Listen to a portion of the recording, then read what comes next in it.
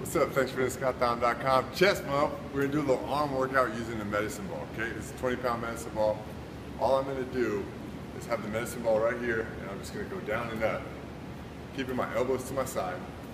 I'm not using my shoulders. I'm not throwing it up here. I'm just kind of right here with 20 reps of that. So that's working the biceps, popping it up, and then we're gonna go right into triceps. Keep your elbows kind of close to the body, same thing. I'm just gonna push down, almost like a close grip, push up or close grip bench.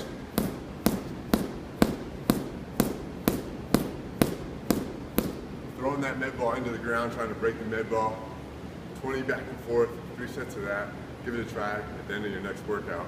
A little arm workout using a medicine ball. Thanks for being ScottThom.com. Great, great day.